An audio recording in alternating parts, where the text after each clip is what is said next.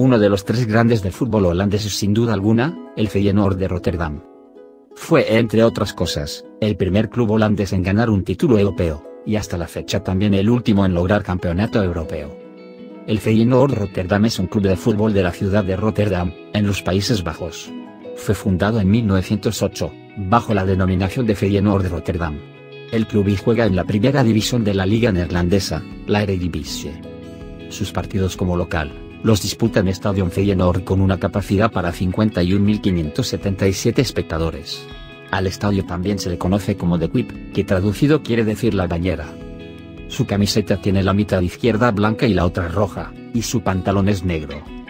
Es el club más popular de los Países Bajos y el tercero en cuanto a títulos obtenidos tras el Ajax Amsterdam y el PSV Eindhoven, además de ser el primer club neerlandés en conquistar la Copa Intercontinental, la Copa de Europa y la Copa UEFA.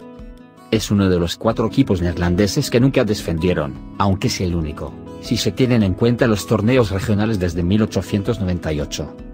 El club fue uno de los fundadores de la Eredivisie en 1956, de la que nunca descendió, y uno de los equipos que impulsaron el profesionalismo en el país.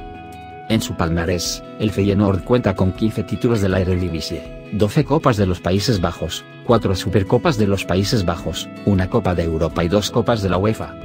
Además, es uno de los dos únicos equipos neerlandeses, en consagrarse campeones del mundo. El punto más alto de su historia llegó a principios de la década de 1970, cuando se consagró campeón de la Copa de Europa, imponiéndose al Celtic Glasgow.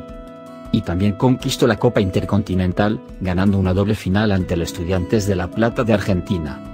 A pesar de no pasar por un buen momento, el Feyenoord fue el último equipo neerlandés en conseguir un torneo oficial europeo al consagrarse campeón de la Copa de la UEFA en 2002 en su estadio, ganando un memorable partido contra el Borussia Dortmund por 3 a 2.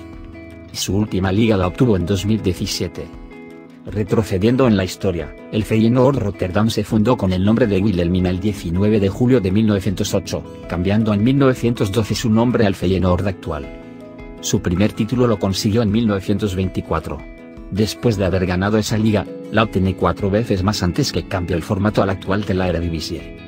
Sus grandes éxitos comienzan en los años 60, cuando obtiene su primera Eredivisie, y por ende participa en su primer Copa de Europa.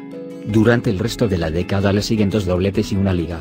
Después de ganar en 1970 la Copa de Europa y la Intercontinental, en 1974, Feyenoord se consagra campeón por primera vez en su historia de la Copa de la UEFA. La final frente al Tottenham Hotspur finaliza 4 a 2 a favor de los holandeses. Esa temporada Feyenoord gana también la Eredivisie, cerrando el periodo más importante de su historia. En la temporada 1983-84, Feyenoord gana su último doblete. En aquella temporada el equipo contaba con Johan Cruyff, que protagonizó una traición al jugar en el clásico rival de las Chucks, equipo que en el que vivió sus mejores años. En los años 90 logra ganar dos veces la liga y alza cuatro copas de Holanda al cielo. Pasaron 28 años para que, en 2002, el cuadro de Rotterdam se alzara con su segunda copa de la UEFA, con un triunfo sobre el Borussia Dortmund.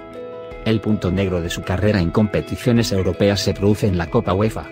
En 2006 a 07, el club sufrió la descalificación del torneo, debido a la violencia excesiva de sus aficionados que culminó con destrozos en la ciudad francesa de Nancy, pese a que el cuadro neerlandés perdió por 0 a 3 ante el equipo de esa ciudad, el AS Nancy.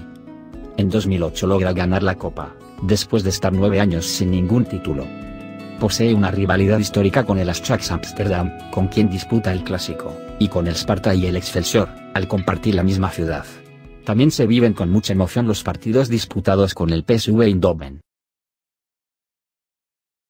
¿Equipos? Entonces no lo pienses más, y suscríbete al canal de YouTube de Clubes del Mundo. Publicamos actualizaciones constantes de videos y fichas de equipos de todo el planeta.